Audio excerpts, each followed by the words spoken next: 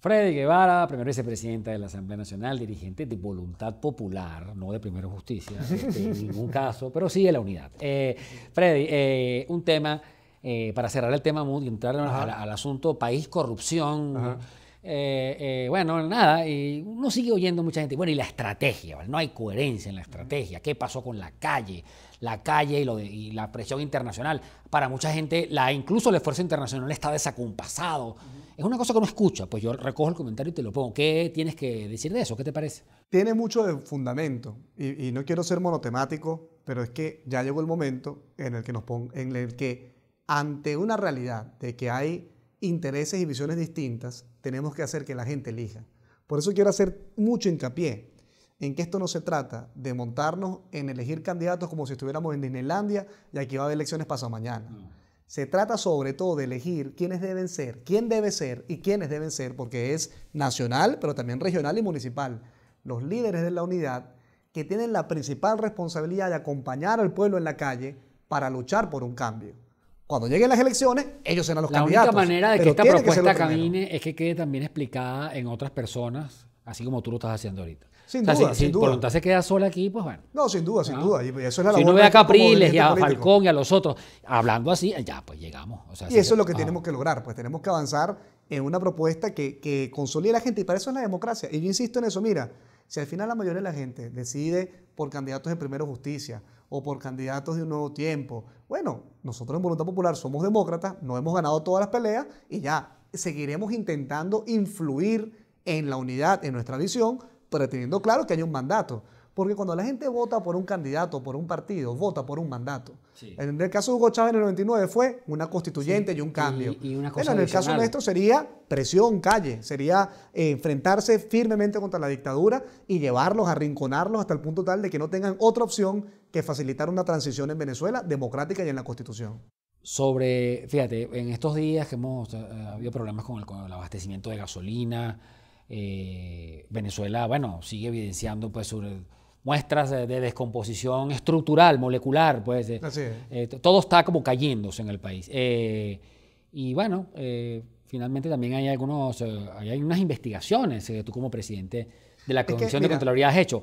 Planteaste unas denuncias de, una extrema gravedad contra Rafael Ramírez en PDVSA y el TSJ lo que está planteando es una investigación penal contra Freddy Guevara. Mira, todo aquí, todo lo que está mal, de verdad, es una mezcla de dos cosas. De un modelo ineficiente, arcaico y sin sentido, ineficiencia, eh, gente inútil que no está para los cargos, y corrupción. Eso pasa con el tema de las panaderías ahorita. Ahí lo que hay es una mafia de la harina del, pan, de, la harina del trigo, que está eh, metiendo a los panaderos en toda una red de corrupción y extorsión, porque tienen las facturas de que la harina que compraron es a precio regulado, pero en el fondo lo que hay es que tuvieron que pagar de más y por eso subsidian la canilla con el cachito. Todo el tema del cemento, de la cabilla, de los cauchos, de los, todo eso es una mafia que hay acá. En el caso de PDVSA es igual.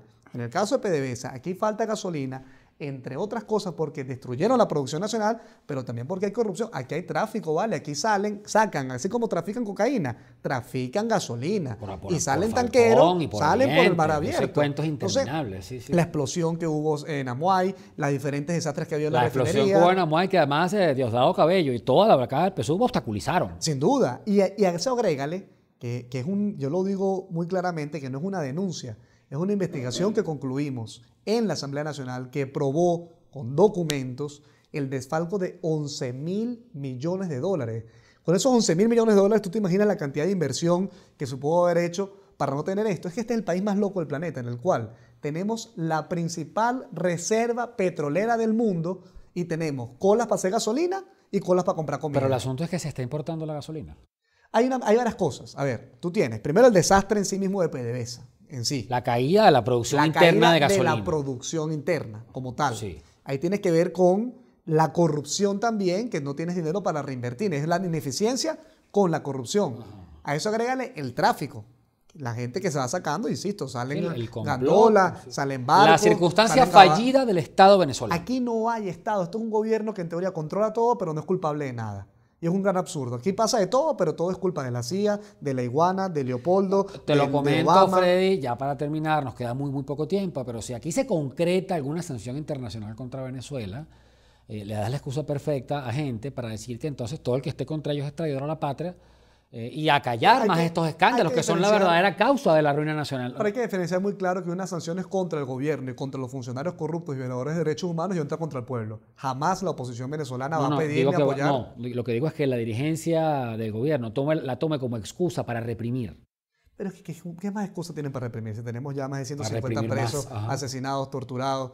Como el chiste que dice, bueno, me van a quitar la patineta, ¿no? ¿Qué más van a hacerle al pueblo? ¿Qué más nos van a hacer? ¿Podemos estar peor? Sí, siempre. Ahora, yo prefiero enfrentarme de una vez a la fase final de esta dictadura a vivir así toda la vida por temor a lo que pueda pasar.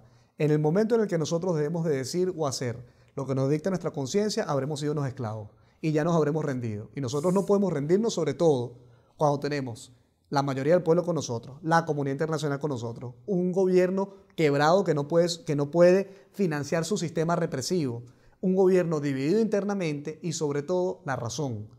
Porque difícil es cuando tienes la razón, pero no, la- no te la comparte la mayoría de la gente. O tienes la mayoría de la gente contigo, pero no tienes la razón. Hoy tenemos la mayoría del pueblo y los valores que nos asisten. ¿Qué nos falta? Nos falta terminar de tener una oposición con una dirección clara que enrumbe al país. Ahora, eso podemos resolverlo en el corto plazo y por eso creemos firmemente que hay que avanzar en este proceso para que el pueblo de Venezuela elija los liderazgos de la oposición que le planteen un rumbo claro a este país y podamos democráticamente sacar a este gobierno y enfilar a la gente hacia una nueva Venezuela. Es Freddy Guevara, primer vicepresidente de la Asamblea Nacional. Vino con un mensaje muy concreto. Este, muchísimas gracias, Freddy, ti, por haber venido. Los espero en una próxima oportunidad.